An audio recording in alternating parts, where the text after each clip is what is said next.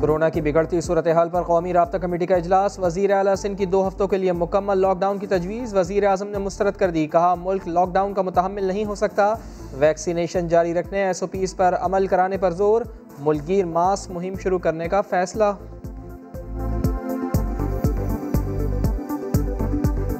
उन्होंने C M से बात की है, मुराद अली शाह से भी की है बुजदार से भी की है। और आज से कंपेन चलाई जाएगी मास्क के लिए और लॉकडाउन का भी कोई फैसला नहीं। रमज़ान मुबारक में मसाजिद खुली रहेंगी, तरावी और नमाज़ भी होगी, लेकिन मुकम्मल एस ओ पीज़ के साथ मौलाना ताहिर अशरफी की आवाम से कोरोना से बचाव की वैक्सीन लगवाने और इबादत के दौरान समाजी फासला रखने की अपील मुखैर हजरात से भी दरख्वास्त कर दी।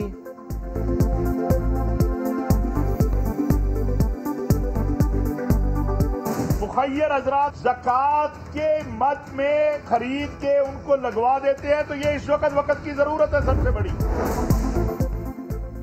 धोखा दही और तीन अरब के माली फ्रॉड का इल्ज़ाम। एफ़ आई ए ने जहांगीर खान तरीन, अली तरीन और दामाद के खिलाफ मुकदमा दर्ज कर लिया। दामाद की बंद फैक्ट्री में सवा तीन अरब रुपए मुंतकली का इल्ज़ाम। जहांगीर खान तरीन ने इल्ज़ाम मुसरद कर दिए, कहा, बैरून मुल्क मुंतकिल की गई रकम पर टैक्स अदा किया गया।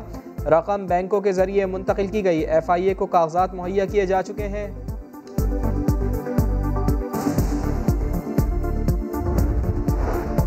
भारत में चीनी की कीमत 15 से 20 फ़ीसद कम है। निजी सेक्टर के लिए भारत से चीनी दरामद की जाएगी। वज़ीर ख़जाना हमाद अजहर कहते हैं, जून के आखिर तक कपास भी दरामद होगी। पेट्रोल और डीजल की कीमतों में भी कमी का ऐलान।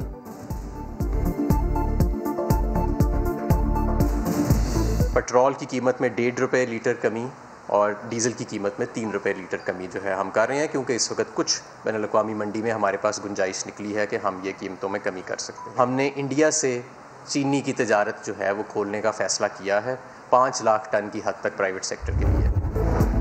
भावलपुर की तहसील हासिलपुर के घर में पुरसरार अम्बात मियाँ, बीवी और दो बच्चों की लाशें मिली है। शोहर की लाश पंखे से लटकी हुई थी। पुलिस के मुताबिक बज़ाहिर लगता है कि शोहर ने बीवी बच्चों को मारकर खुदकुशी कर ली। मजीद तफ्तीश जारी।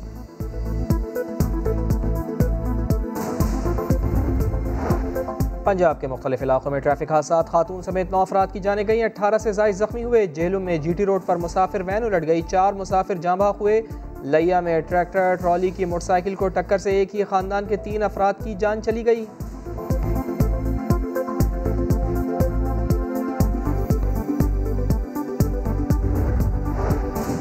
कराची में गर्मी की लहर बरकरार, पारा इकतालीस डिग्री रिकॉर्ड, गर्म हवाओं के थपेड़े, महकमा मौसमियात के मुताबिक गर्म मौसम तीन अप्रैल तक जारी रहेगा।